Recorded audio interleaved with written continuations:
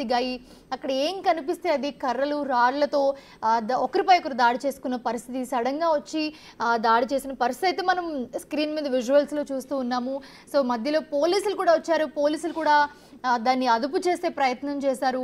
So వాళ్ళు ఎంత అదుపు చేయడానికి ట్రై చేసినా వాళ్ళు ఆగని పరిస్థితి అయితే మనం విజువల్స్లో చూస్తూ ఉన్నాము. ఫెరోజ్ ఖాన్పై దాడికి ప్రయత్నించారు. తీవ్రంగా కొట్టడానికైతే కర్రలు రాడ్లతో వెళ్ళిన సిచ్యువేషన్ చాలా ఉద్రిక్తంగా నడుచుకుంటూ వచ్చి ఒకరిపై ఒకరు రాళ్ళు కర్రలతో కొట్టుకుంటున్న పరిస్థితి చూస్తున్నాం. మధ్యలో పోలీసులు ఆపడానికి ప్రయత్నించారు. వాళ్ళను కూడా ఏమాత్రం లెక్క చేయకుండా తోసేసి కొట్ కొడుతున్న పరిస్థితి అయితే మనం స్క్రీన్ మీద కనిపిస్తున్న విజువల్స్లో క్లియర్గా చూస్తూ ఉన్నాము.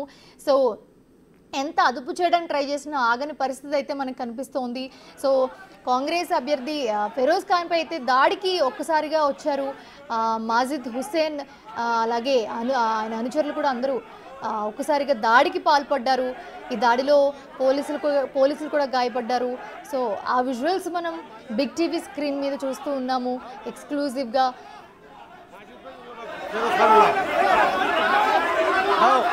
మళ్ళీ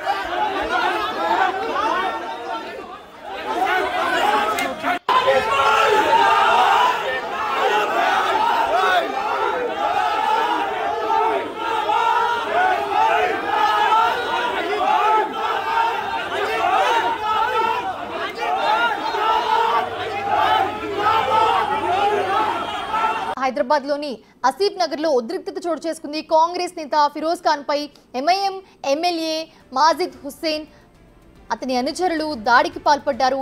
బ్యాంక్ కాలనీలో రహదారి పనుల పరిశీలనకు వచ్చిన ఫిరోజ్ ఖాన్పై నాంపల్లి ఎమ్మెల్యే మాజిద్ హుస్సేన్ అనుచరులు దాడి చేశారు. ఈ క్రమంలో ఇరు వర్గాలు పరస్పరం దాడికి దిగాయి. దీంతో పోలీసులు ఇరు వర్గాలను అదుపు చేశారు.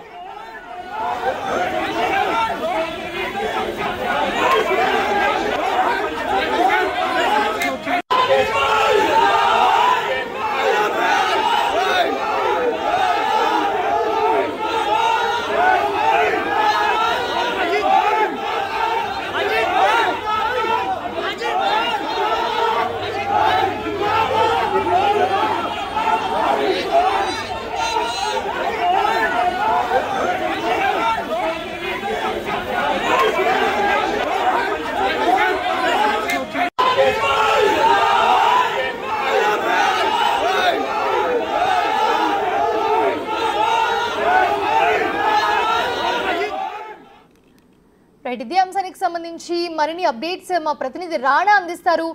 రాణా ప్రస్తుతం చూస్తూ ఉన్నాము కాంగ్రెస్ నేత ఫిరోజ్ ఖాన్ పై ఎంఐఎం ఎమ్మెల్యే మాజిద్ హుస్సేన్ అలాగే అతని అనుచరులు దాడికి పాల్పడినట్లుగా తెలుస్తుంది. ఎందుకు దాడి చేస్తారు విజువల్స్లో కూడా చూస్తూ ఉన్నాం మనము. ఒకరినొకరు ఒకరిపై ఒకరు దాడి చేసుకున్న పరిస్థితి. అప్డేట్స్ ఏంటి? ఎగ్జాక్ట్గా ఆసిఫ్ నగర్ పోలీస్ స్టేషన్ కూతవేట దూరంలోనే ఒక రహదారి విషయంలో అక్కడ బాగలేదు పాడైపోయింది. దానికి సంబంధించినటువంటి రోడ్డుని పరిశీలించడానికి కాంగ్రెస్ పార్టీకి సంబంధించి ఎమ్మెల్యే కంటెస్టెంట్ ఫిరోజ్ ఖాన్ ఆ ప్రదేశానికి వెళ్ళాడు. ఆ ప్రదేశానికి వెళ్ళినప్పుడు దాదాపు ఇరవై మంది దాకా కూడా తన అనుచరులు కూడా అక్కడ వెళ్ళి ఆ, పరిశీలిస్తున్నారు. అక్కడ ఉన్నటువంటి స్థానికులతో కూడా మాట్లాడుతున్నారు.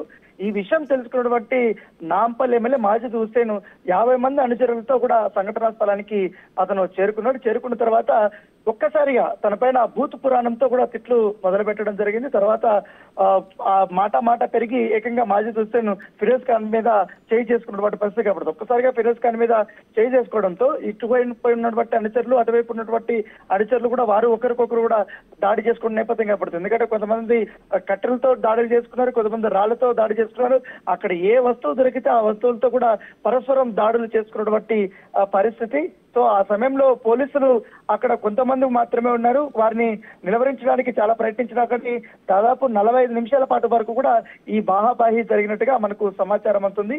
ఇప్పుడే ఆసిఫ్ నగర్ పోలీస్ స్టేషన్కి డీసీపీ కూడా చేరుకున్నారు. చేరుకున్న తర్వాత ఇరువైపుల నుంచి కూడా ఒక్క ఎవరు ఫిర్యాదు కూడా చేయలేదు. ఇటు మాజీ హుస్సేన్ సంబంధించినటువంటి అనుచరులు కానీ లేకపోతే ఆయన కానీ నా ఈ పోలీస్ స్టేషన్కి అయితే ఫిర్యాదు చేయలేదు. ఇటు ఫిర్యాదు ఖాన్ కూడా ఎటువంటి ఫిర్యాదు అయితే చేయలేదు. రానా ప్రజెంట్ సిచ్యువేషన్ ఎలా ఉంది? ఎందుకంటే విజువల్స్లో చూస్తే గనక ఒకరి మీద ఒకరు దాడి చేసుకోవడంతో పాటు మధ్యలో ఆపడానికి వచ్చిన పోలీసులు కూడా తోసుకుంటూ వాళ్ళని కూడా కొట్టుకుంటూ వెళ్ళిపోతున్న పరిస్థితి మనకు కనిపిస్తోంది. ప్రజెంట్ సిచ్యువేషన్ ఎలా ఉంది? సో సిచ్యువేషన్ అయితే ఇప్పుడు ప్రశాంతంగా ఉంది. ఇక్కడైతే ఆ ప్లేస్లో అయితే ఎవరిని కూడా లేకుండా ఇప్పుడు పోలీసులు అక్కడి నుంచి పంపించేశారు. ఇటు ఫిరోజ్ ఖాన్ని కూడా ఇంటికి పంపించేశారు. మాజీ హుస్సేన్ కూడా ఆ సంఘటన స్థలం నుంచి కూడా వెళ్ళిపోయారు. తర్వాత ఇది జరిగి దాదాపు రెండు గంటలు వస్తుంది ఆ సమయంలో ఎటువంటి గొడవలు అయితే మళ్ళీ జరగలేదు. అప్పుడు జరిగినప్పుడు మాత్రం చాలా బీభత్సమైనటువంటి వాతావరణం అనేది నెలకొంది. ఎందుకంటే అక్కడ ఉన్నటువంటి సైడ్లో ఉన్నటువంటి వాడిని వీళ్ళు కానీ వ్యాపారస్తులు కానీ వీళ్ళిద్దరు కూడా ఒక్కసారిగా ఏం జరుగుతుందో అనేది కూడా భయాందోళనకు గురయ్యారు. ఎందుకంటే అక్కడ పోలీసులను చూడట్లేదు ఎవరిని చూడట్లేదు. ఎలా పడితే అలా కొట్టేసుకుంటున్నటువంటి పరిస్థితి ఎలా పడితే అలా బూతులు తిట్టుకున్నటువంటి పరిస్థితి కనపడుతుంది.